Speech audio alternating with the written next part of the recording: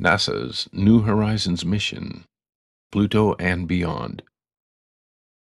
On July 14, 2015, New Horizons became the first probe to get to the former planet Pluto when it reached its closest point on its flyby of the dwarf planet.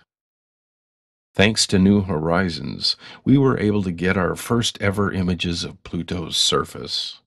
To our surprise, we learned that Pluto has a heart, as in a huge, bright, heart shaped surface region, as New Horizons sent us stunning images not only of Pluto, but also its moon, Charon.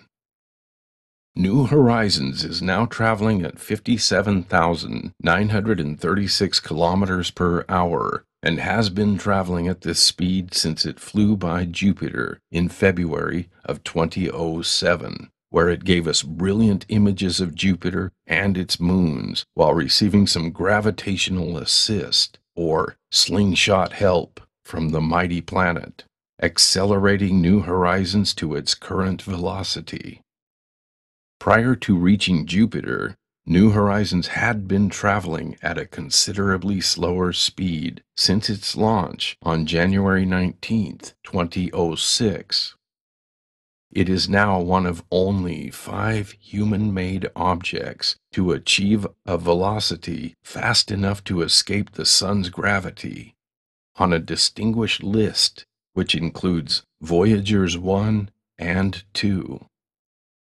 Realizing New Horizons could be redirected again after flying by Pluto, NASA astronomers, after an incredibly challenging search, discovered a small object in deep space, much smaller and well beyond Pluto, moving through the Kuiper Belt. They were able to miraculously calculate its path, size, and distance, then were able to redirect New Horizons to fly by it. New Horizons did so, making Ultima Thule, which is only 31 kilometers long, the furthest object to have ever been flown by. So, where is New Horizons now? Somewhere way out there, speeding through dark, cold, empty space, on its way to our next surprise.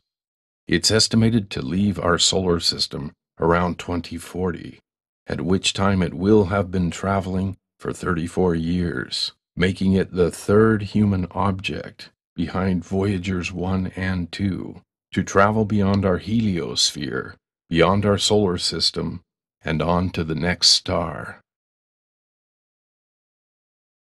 lightspeedesl.com